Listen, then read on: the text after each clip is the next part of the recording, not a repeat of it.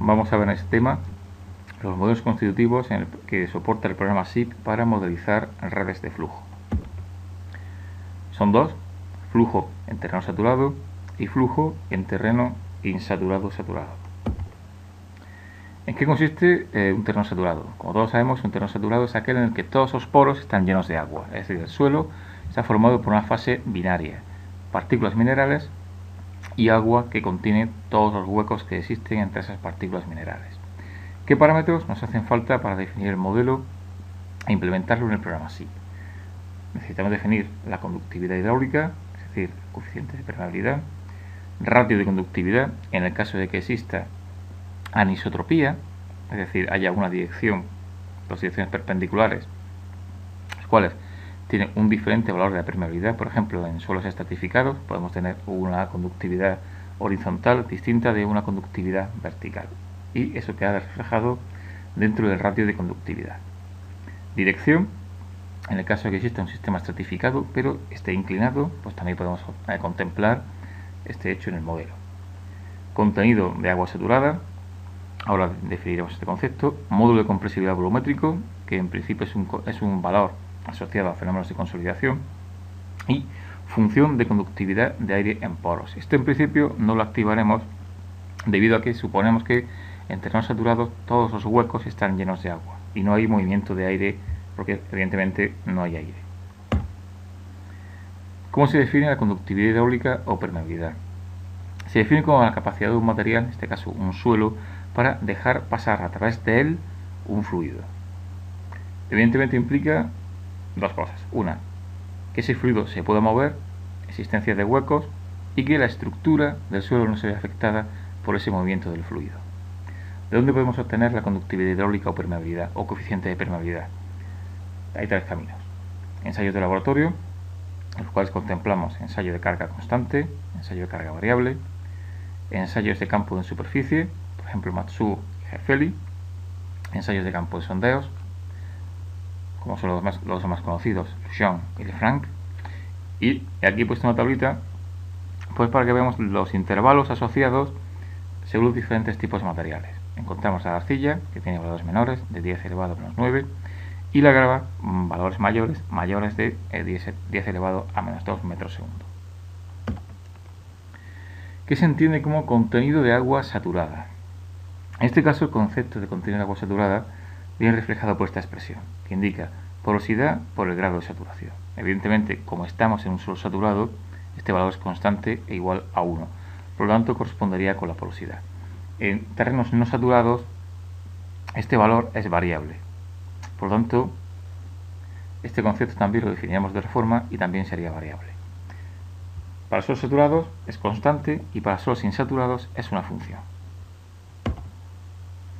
El módulo de compresividad volumétrico se define como la pendiente de la parte positiva de la función de contenido volumétrico de agua. Es decir, sería esta gráfica, que es una función tipo, digamos, entre el contenido volumétrico de agua y la presión de poro tiene una parte de presiones negativas y una parte de presiones positivas. Pues bien, la parte de presiones positivas, la pendiente correspondería al módulo de compresibilidad volumétrico.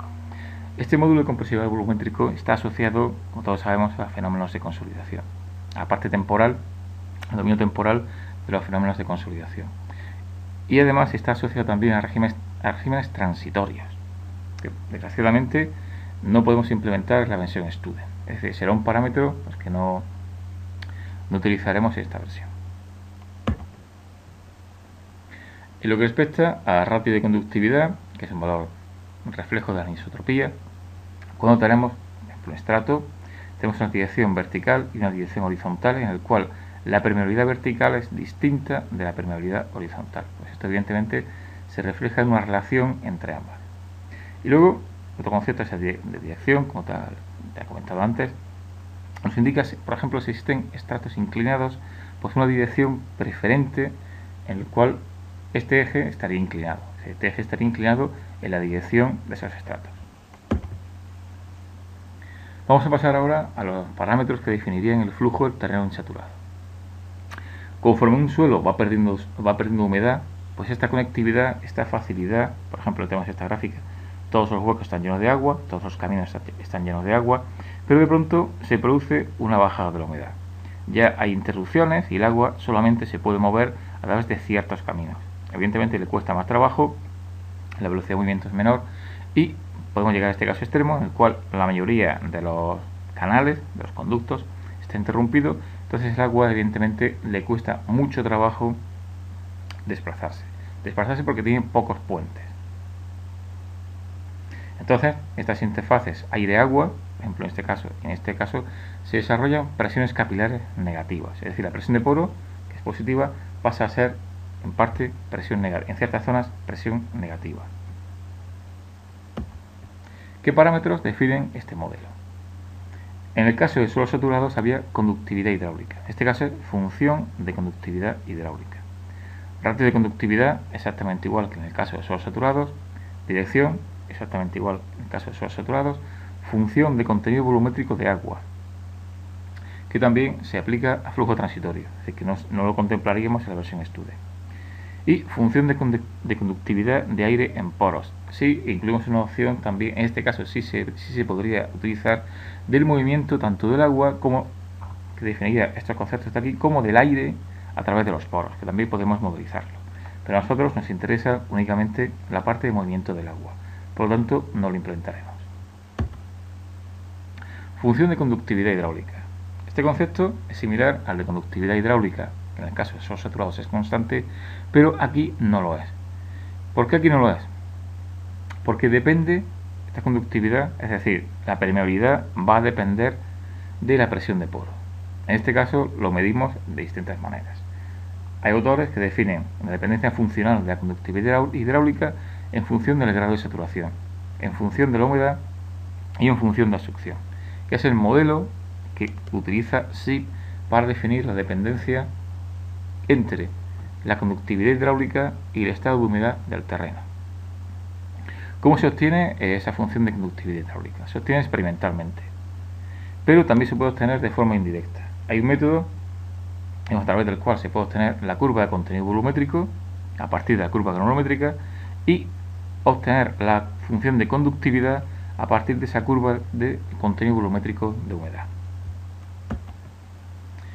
¿En qué consiste la función de contenido volumétrico de humedad? Relaciona el contenido de agua en poro con la presión de poro. Es decir, estaremos relacionando qué parte de esos poros están llenos de agua, qué volumen de poro está lleno de agua en función de la presión de poro. Se puede obtener de forma experimental o a través de la curva granulométrica de suelos, como he comentado en la transparencia anterior. Y aquí pues una bibliografía básica, fundamentalmente el texto que viene en el programa